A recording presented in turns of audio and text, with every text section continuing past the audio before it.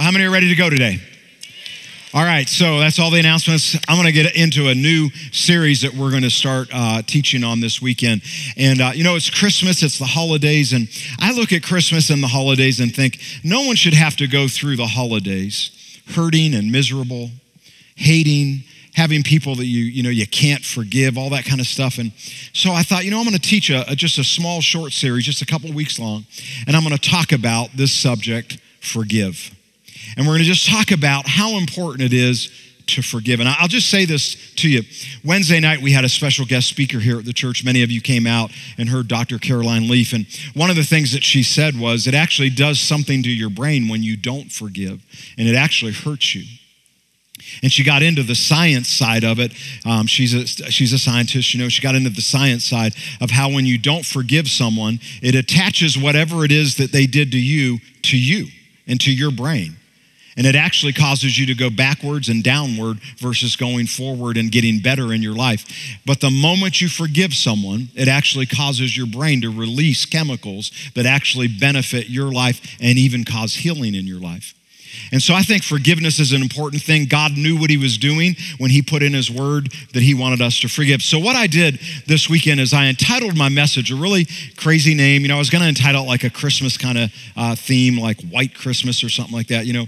But I decided, you know, because how many would like to have a white Christmas?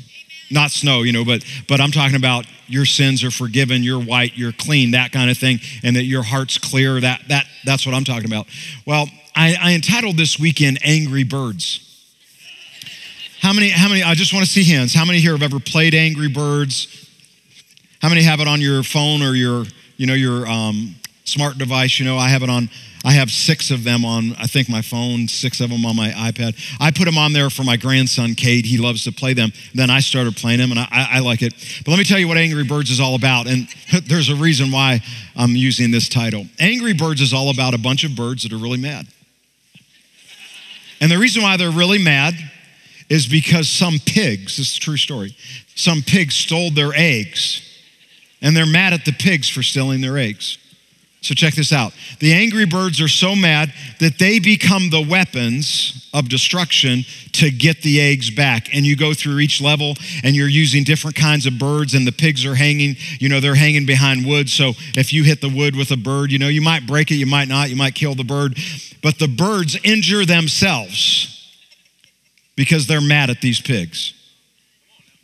And it reminds me of the way people are.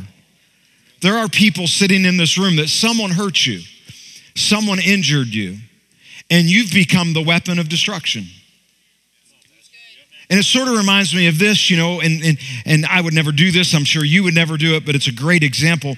It reminds me of a person who thinks, you know what I'm going to do? In order to hurt you, I'm going to stand up here today. And what if I did this today? You'd be like, oh my gosh, Pastor Mike, I was going to do it, but there's too much wood up here and I didn't want the platform to start on fire.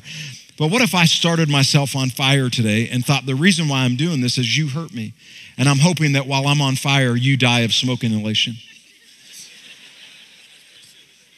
Come on, how silly is it? I mean, you would not do that. You would never do something where you actually are injuring yourself just so you could get even with someone else. But that's what people do who keep unforgiveness in their life. They become angry. They, and, and, and this Angry Birds game is exactly what it's like. They start to injure other people around them. Some people totally innocent. Some people never did anything to them, but they're injuring them because they've become a weapon of destruction themselves because they're mad because someone hurt them. So I want to talk today about forgiveness. And if you're here, listen, I know there are people here, you really have been hurt. So I'm going to, I'm going to address that. I'm going to talk about it. I'm not here to tell you, just get over it. I'm not here to tell you that today. I'm here to tell you that if, if you will listen to what I say and open your heart up, I believe this is a message like you've never heard before on the subject of forgiveness. And all I want to do is challenge you today that before you walk out the door, you will consider forgiving the person you need to forgive. It could be a mom, it could be a dad, it could be an ex-wife, an ex-husband, it could be uh, a brother or sister, it could be all kinds of different people. I'm just wanting to challenge you today that you will forgive them. So if you're taking notes, you know, we gave you the card that you get every weekend. If you're taking notes, I want to ask you this question, and you can write it down, and then I'm going to answer it. Why do most people struggle with forgiveness? That's the question. Why do most people struggle with forgiveness? And I want you to write this down. Number one, we have a wrong understanding of forgiveness. So, in other words, here's the deal. If your understanding of forgiveness is not the way the Bible talks about it, and you've made it unrealistic, you'll never do it. And, and, and just hold on with me because I'm going to go right through a bunch of these reasons that I think, and you're going to see what I'm talking about. But most people have made it unrealistic to say, you know what, I'm, I'm going to really actually forgive someone. They've made it an unrealistic thing in their life. The second thing is, um, you know, they don't forgive because they think it's minimizing the seriousness of the offense. Let, let me say this to you. Uh, I, I, think sometimes we do this as preachers, you know. Um, sometimes we'll make statements like sometimes you just got to get over it, so just get over it. And it makes you feel like well, they're minimizing what happened to me. And I want you to know this. We're not, no, no one is minimizing what happened to you. What happened to you happened, and it's probably serious, and it's probably not right. But that doesn't mean you can't forgive. So we're not here today to say, you know what, we're going to minimize what it is and it's not that big of a deal. And there's some people that have been hurt more than you know. Getting hurt, having someone do something to you, it's real. It hurt. The ex husband that did what he did to you, it hurt. But that doesn't mean you can't forgive. And I know you're thinking, man, I know there's going to be some scary stuff coming up, Pastor. You're going to tell me I got to go to my ex husband and talk to him and make this all right. I'm actually not going to do that. So, so just be happy. Number three, it's not necessarily reconciliation. Let me explain what I mean. You don't have to go to the person who did something to you and say, We need to get this right. Now, I know there are scriptures that talk about if your brother offends you, go to them, you know, all that kind of stuff. But let me, let me explain what I mean. In the norm, that is the norm. But if it's a wife sitting here today that you were abused, your children were beat, you were beat, you got out of a relationship, and you hear a message like this and you think you have to go back with that man and sit back in that home and be under that kind of stuff again and get beat again, you don't ever have to do that. Listen to this closely. You're welcome. Um, forgiveness. Forgiveness is between you and God. Forgiveness is not between you and the other person. I'll say that one more time. Forgiveness is between you and God. Forgiveness is not about you and the other person. It's about you and God. In other words, God wants you to go ahead and get this right with Him. And you just say, Man, Father, I forgive him. It's not about you going to the other person and saying, You know, we need to get this right. How, how, many, how many would agree with me right now that you've done that before in the past, and most of the time it never goes well? Four hands. I, I, I know this for a fact. I've done it before. I'm sure you've done it before. It usually isn't well because here's what happens. Anyone ever have this happen? You go to the other person, you deal with the thing, you know, and they finally tell you, okay, I'm sorry, you know, that I did that. And you walk away and you finally got that apology you've been wanting for years. But here's what happens. Anyone ever have this happen? About a week goes by and you're like, you know, I don't, I don't really think they were really sincere in saying that. I, I really don't think they even meant it. And then and when I think about it, their tone wasn't really that great. And here's the deal about it I believe without a shadow of a doubt that if you'll just understand this is between you and God, it makes it a lot easier than it's be- between you and another person. Number four, it's not forgetting what happened. I'm not sure how this has happened in the life of the church or in the life of Christians, but this is the way most Christians think. If I really forgave someone, I'll forget about it. So look up here just for a moment. Let me ask you this question Have you ever been going through a store or the mall and you saw the person that you thought you forgave, but the moment you see them, the same bad feelings come up on the inside, and you think, you think, I really must have not forgave him. Now listen to this closely. Forgiveness has nothing to do with feelings. So just because you feel like a certain way when you see them, you know, you feel like, oh, all that stuff came back up, that doesn't mean you didn't forgive them. But here's what people think in the church world they think real forgiveness is, I'll forget. I want you to remember this today. God's the only one that has the ability to forget. You do not have that ability. Oh, and then once you reach a certain age, then you might have that ability. But you, you do not, come on, you do not have, I'm just kidding, right?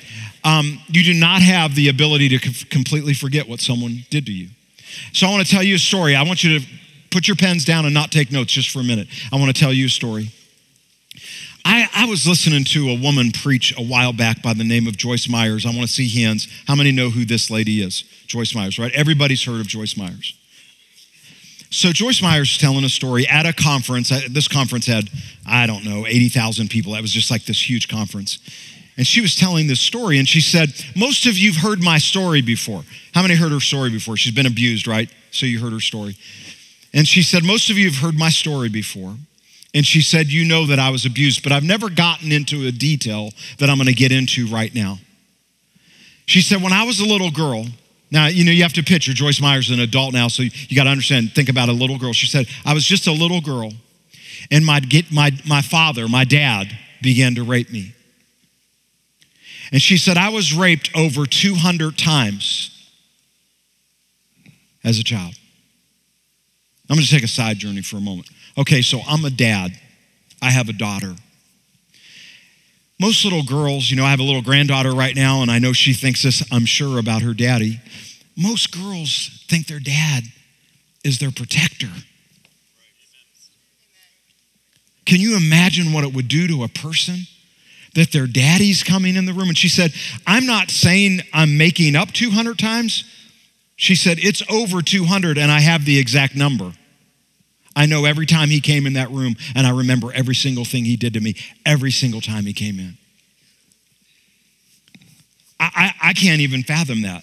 When my daughter was growing up, and you know, when she was little, I had seven boys in my family. We never had a girl, you know. So here you have this new little girl, you know, and she's my little daughter. And even though we had a son, and you know, you think your, your son can take care of himself, but your daughter, you feel like this is one, one of my jobs is I'm going to protect you.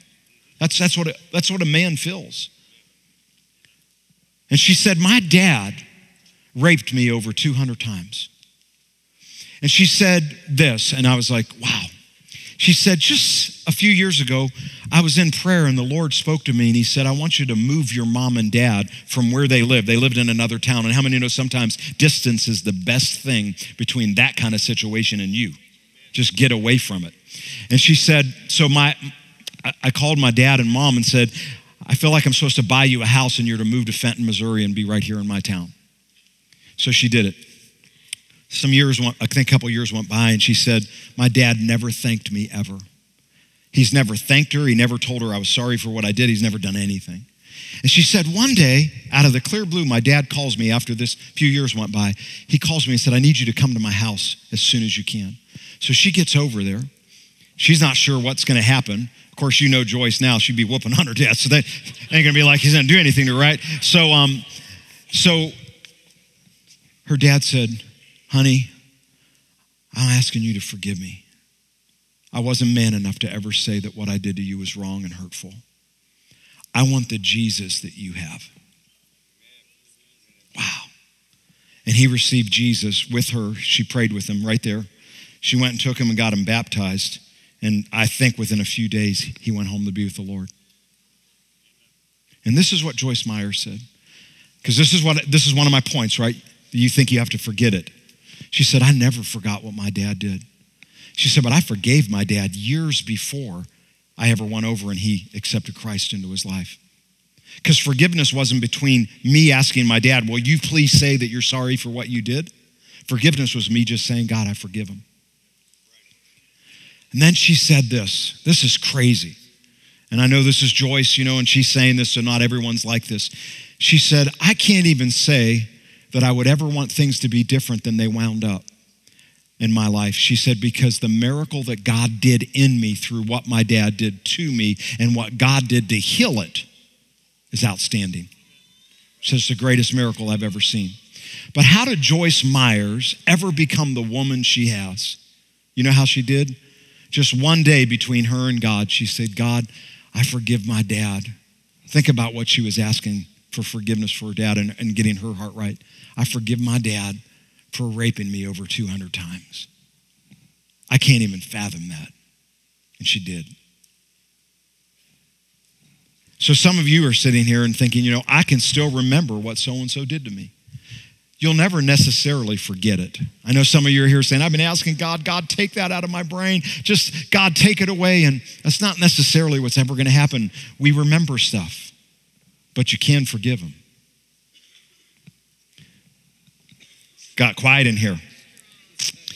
Number five, we don't think it's fair. The reason why we don't forgive or we think forgiveness is too hard, we, we don't think it's fair. I'll just say this to you I would never throw out the fair card to God. Because if God did what was fair, you and I would be in huge trouble. What if God flashed you the fair card and said, Well, I'm not going to forgive you? It's not fair. My son's the one that died. You should have had to die. So don't flash the fair. It, listen, forgiveness isn't fair in the sense of I'm forgiving someone for what they did to me. It's not fair they did it to me. I get it. But if God did that to us, we'd be in big trouble. So we just got to we just have to forgive. So, here's here's here's what I want to talk to you about. Jesus modeled forgiveness better than anyone.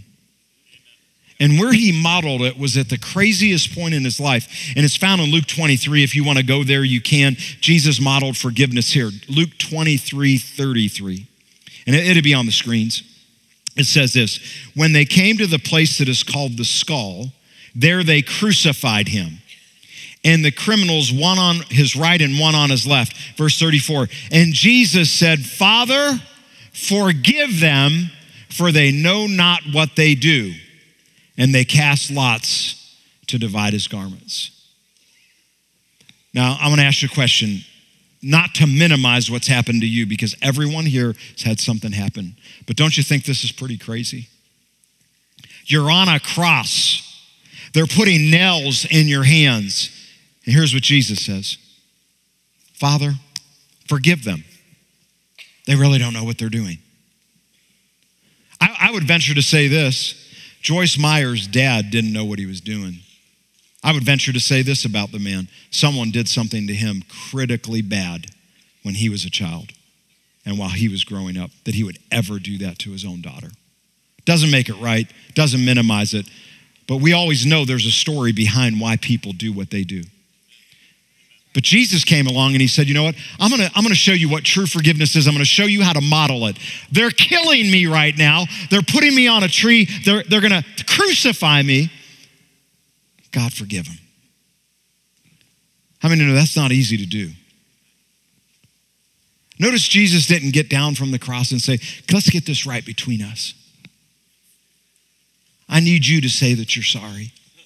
Jesus didn't do any of that. He just said, Father, forgive them. They don't know what they're doing right now. And then I think this is interesting. You don't have to go there. You can write it down if you want. Acts 7, 59 through 60, one of Jesus' disciples, Stephen, he, watch this, verse 59. And as they were stoning Stephen, so Stephen's getting stoned, Jesus getting crucified. He called out, Lord Jesus, receive my spirit. He knew he was ready to die, verse 60. Falling to his knees, he cried out with a loud voice, Lord, do not hold this sin against them. And when he had said that, he fell asleep or he died. So, Jesus getting crucified, I don't think we understand this at all. I don't think any, this is not throwing pebbles. This is throwing pretty good sized rocks at a person to kill them. They just, I don't know if you know what stoning was like in that day, but if you go to the Old Testament and read it, there were times they took people out of the city, took them out of the city, and they were just them to death. Sometimes it was kids. I mean, a kid did something, and so in the Old Testament it said, you know, they do this, you need to stone them. Can you imagine that? And they would take their child, and this is what would happen. People would get in a circle around them, and they would just start throwing huge rocks at them. Eventually, the person would drop to the ground. They just keep on throwing those rocks till they drop to their knees, until they drop to the ground. They keep on throwing those rocks. They just kill them. Stephen's getting stoned like that right now. He dies right after it. And he says, Lord, don't hold this against these people. So here's here. I know you're all looking at me like, seriously? But we have to look at what Jesus modeled and what one of his disciples modeled to understand what we have to model, because what we have to model is the exact same thing. If someone has done something to you, you need to go to God and just say, God, I ask you to forgive them. And you know the, the, the, the definition of forgiveness is to release it. Just means to let it go. And it doesn't mean you let it go like nonchalantly, like, okay, God, my dad raped me for, you know, 200 times. I release it. That's not really what it's talking about. It's just like, I'm not going to be the one that allows this to put me in a prison in life. If I want to set me free, I'm going to do it by forgiving the other person because what they did to me hurt me very badly, but I'm not going to be living in that the rest of my life. Some of you have a great future ahead of you. Some of you have things that God still wants to do through you in your life. And you've been bound as a prisoner because of someone else doing something to you that has hurt your life. So let me ask you this. We're, we're, we're not going to take much longer on this, and I'm going to give you a, a couple points on what I believe will help you in your life through this forgiveness issue for the rest of your life. But before I get to that, let me ask you this. Why do you think people are struggling so bad with forgiveness? Jesus actually told us why. One day his disciples came to Jesus and they said, Lord, if my brother sinned against me, how many times in a day do I need to forgive him? everyone familiar with that, right? I mean, this easy, simple story. Check this out. In Luke 17, Jesus said this Pay attention to yourself, verse 3. If your brother sins, rebuke him, and if he repents, forgive him. That sort of sounds like if your brother does something wrong, go to him and tell him. But watch verse 4 explains it. If he sins against you seven times in a day, and turns to you seven times saying, I repent or, or forgive me, you must forgive him. The apostles said to Jesus, Lord, increase our faith. And the Lord said, If you have faith as a grain of mustard seed, you could say to this mulberry tree, Be rooted up, uh, uprooted and planted to the sea, and it would obey you. So check this out. Disciples come to Jesus and say, Jesus, we're hanging out with these other fishermen all day, your disciples. Each of them do stuff to us on a daily basis to irritate us. How many times do we have to keep on forgiving them? Jesus said, Well, you know, in one day, seven times. But then Matthew says this Matthew's version of this says 70 times seven. Come on, math people, 490 times. And then Luke says, in a day. Can I just ask you this question? everyone look this way. Is there anyone here that has someone that does something to you 490 times in a day? That's like extreme. Why did Jesus have to go so extreme? Here's why. Now, I know some of you are like, honey, it's you. No. Um, listen, he did this so extreme because no one's ever going to have 490 times. He's just telling you no matter what someone does, you need to just forgive them on it. No matter how many times it is, no matter how many times in a day, you just need to forgive them. But let me side journey it just for a second. I'm not talking to you if you are here and you are a wife or a person that's in a situation where the person is beating you and abusing you and taking advantage of you and hurting you, get out as fast as you can. Do not stay in a situation where someone is abusing you. So I'll make sure you understand that because you might be here thinking, he's saying I just got to keep forgiving him. So my husband keeps doing it, I keep forgiving him. He keeps doing it. No, no, if he's abusing you or your children, your family's being abused, then take your family out of that situation. Tell that person you need to get help or we're going to be going. But for now, we're not coming back into it till you get fixed. People here think that's a sin. That's not a sin, that's wisdom. God never made you to have to sit in a situation where they keep abusing you. And if you're in that situation, I honestly want to encourage you, you, you, need to get help and, and get out of that kind of situation. So here's, here's what I'm going to do, just in, in, in really honestly, I only have three things that I want to talk to you about in closing this up today. I'm going to give you three things that, okay, once I say, I forgive so and so. So so how hard is this? Because Jesus said Jesus said, "Hey, you just have to have faith." What is faith? Faith is you just believing and trusting that God will take care of you if you say I forgive someone and God will take care of them. Right? That's all it is. You say, "Well, how's God going to take care of them?" Well, not this. Dear Lord Jesus, I come to you and pray for so and so that you will kill them. Amen. That's not what I'm talking about. But how many know God has a way to deal with that other person? But here's what faith is faith is just doing what God said to do. And faith is just saying, God, I forgive so and so.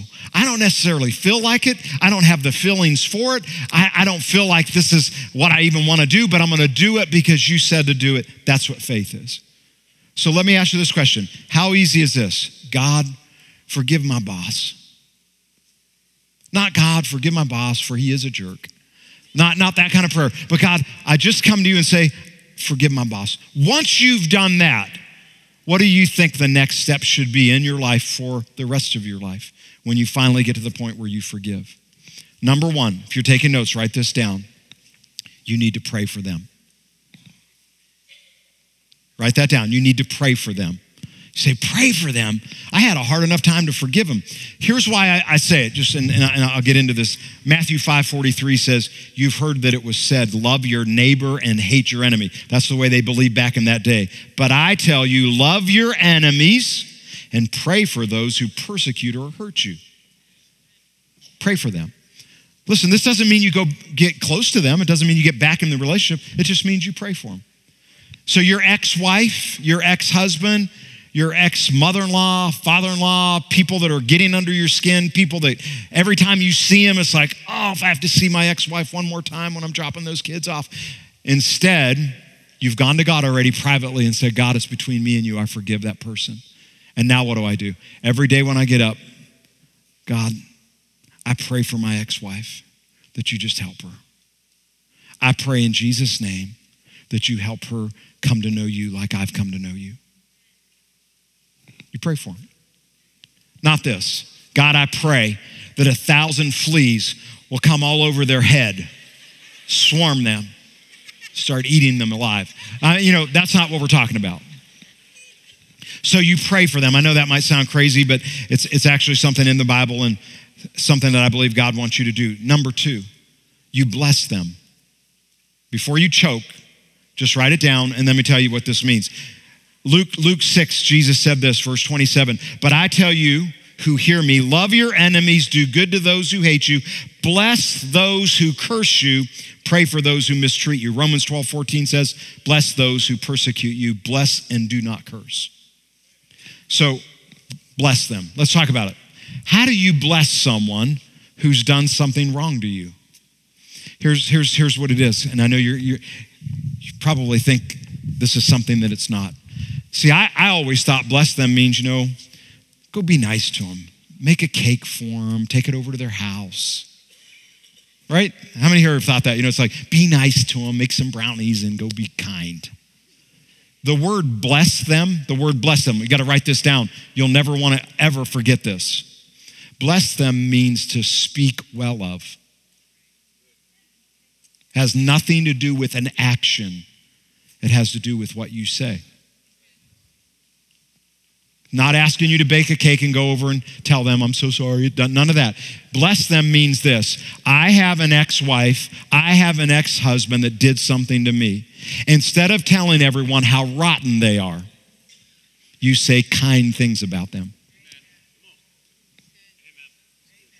Um, my, my spiritual father, Brother Kenneth Hagin, you know, he's gone home to be with the Lord um, back years ago. He said, Sometimes this is difficult. He said, because you could look at someone and say, I don't have anything that I can say good about them. And he says, so sometimes you got to dig. Sometimes you just need to look at them and think, they have nice eyes. You know, you just got to find something. They have nice hair, whatever it is. You have to find something you can say positive about them. Guys, you know this as well as I do. It's not going to do any good for you to tear down another person. It doesn't make you a bigger person or a better person. So, what do you do? So, when someone says to you, Hey, I saw your ex husband, I saw your ex wife, you just say something kind. That's what this is talking about. Bless them. Not take something over, not do something kind to them, just say something kind. So I'm supposed to pray for them, I'm supposed to say something kind about them. And thirdly, number three, you're not gonna like this one. And I'll have to clarify once I say this. Number three, do good to them. Do good to them. Now, I want you to understand this. Let me clarify it, then I'm going to read a scripture and we'll be done here. Let me clarify it. If you think doing good is, I'm going to ride over to the guy who beat me up my whole life, and I'm going to take him something over to his house and say, I just want to do good to you, that's not what I'm talking about. I just have to make sure we clarify this because there are sometimes people sitting in a, a, worship experience and they think that's what we're saying and they go back to a situation and they're literally not in our church, thank God. I've been people that have been killed by a person because they did this kind of thing. I don't want you to do that. You don't have to go over and do anything. Just forgive them from your heart and stay away from them. Some people, it's better distance. More distance you get from them, the better off you'll be. But in the norm, so let's say we're not in that. Let's say we're in the norm. Let's say it's you're here in church and you've been mad for five years at a woman you come to this church, you're a lady, she's a lady, you both come to this church, but she stole the guy you thought you were to have and she married him. And you've hated this person. Now, I know you might think, well, that's stupid. That's ridiculous. No one would do that. No, there's people sitting right here like that. Smile. Come on, help me out. There are people just like that, that they have some reason like that. It's ridiculous. We've had this for years. I tell this story, and I know I, sometimes people hear it and they're probably like, yeah, Pastor, we heard this story over and over. But this story just intrigues me. We went to a church when we first accepted Christ in our life, small little church, and it was a Pentecostal church, you know. And in the church on Sunday nights when they had church, it was sort of like this odd kind of service where they started off with music and then they would just call on people and say, hey mike why don't you stand and pray? Or you know it'd be like oh god I would, i'd be hiding. I'd be like behind people if people were swaying. I'm like swaying with them so that the guy did not see me man. It was like ah please don't call me. I, I couldn't even talk in front of people. So i was like yeah the, uh, i'm supposed to pray right now. I don't know how to pray so please don't call me. But during that time they would open it up sometimes for testimonies. And during this service and this remember the building's small. It's not like this at the back row of the church was the pastor's wife, and she got up to testify. And if you've been ever in a Pentecostal church, you know, they love doing this, you know. So she got up and said, I just want you to know, you know, sometimes there's organ, you know, that's going on. She's like, she's like, I forgave so and so relative tonight during service. I forgave him. During worship, the Lord dealt with my heart. I forgave him. People are like, Amen, man, amen. And she continued. I thought you should have stopped there. Sometime there should be a period for people, and it's like, don't go on. She said, It's been 20 some years. This is pastor's wife. And I understand pastors' wives could have something and be hurt, whatever. I understand it, but she'd been in church hearing messages, you know, for 20 some years probably, longer. And she said, I finally forgave him tonight. You know why? Because she thought forgiveness was hard. That's why it took her so long.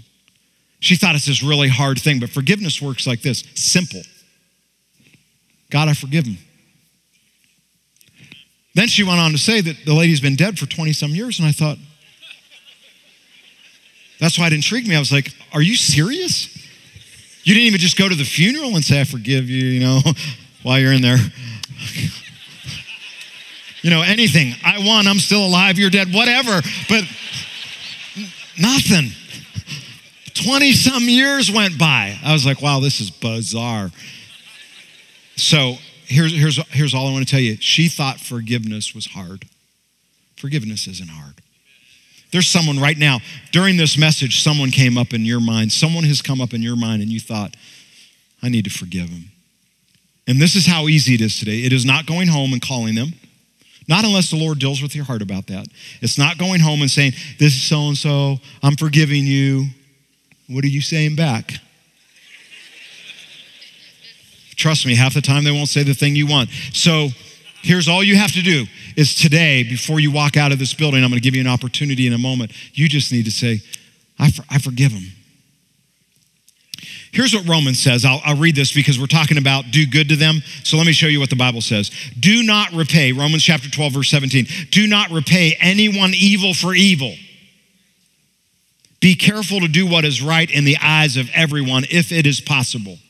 As far as it depends on you, let at, uh, live at peace with everyone. Do not take revenge, my friends. Everyone say it.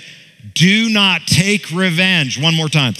Do not take revenge. Ah, revenge is good sometimes. He says, don't take it. Watch this. But leave room for God's wrath. Yes.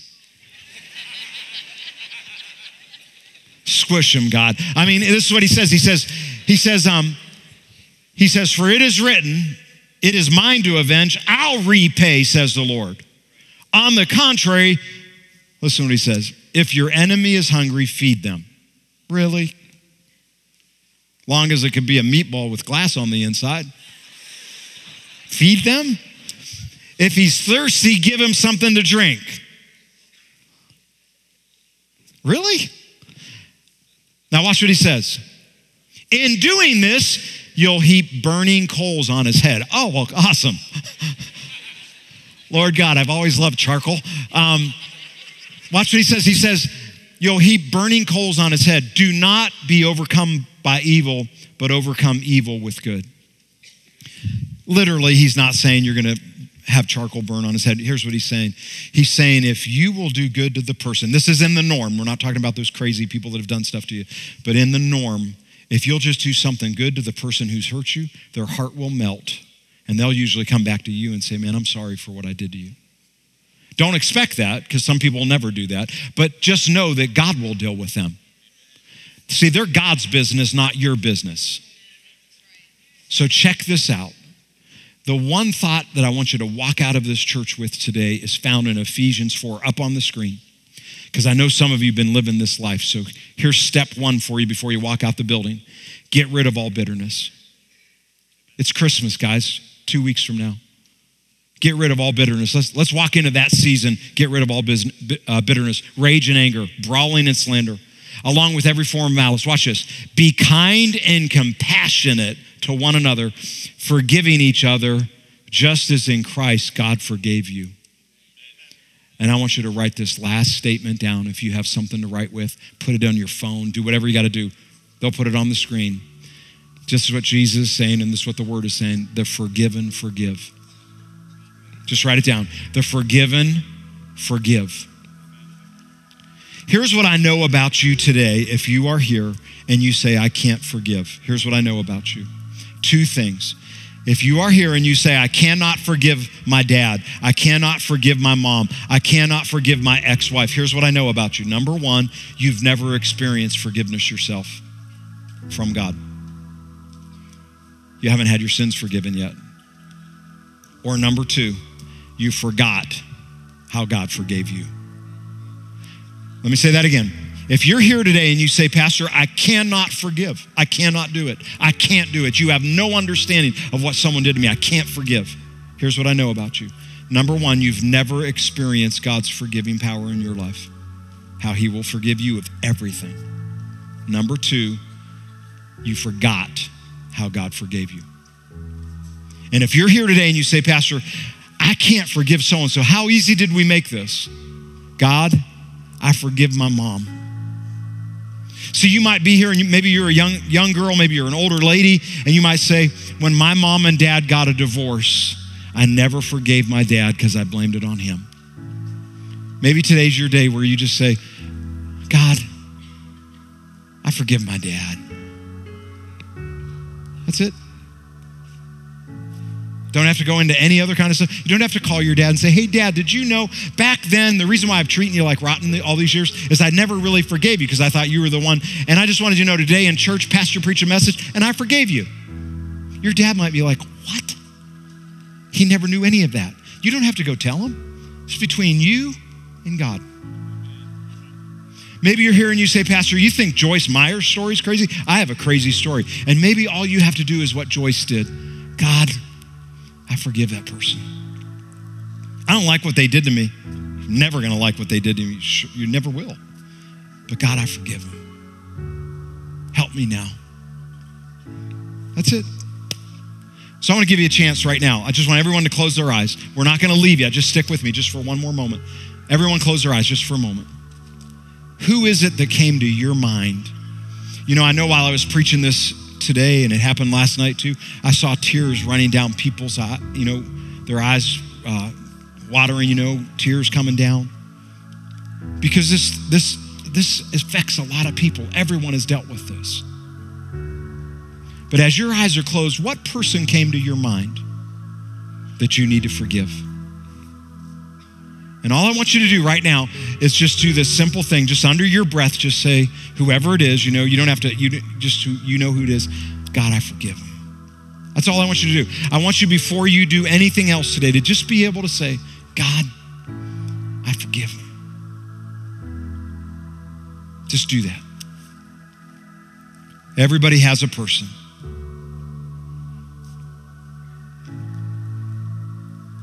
Just release it and let it go and say, God, I forgive him today.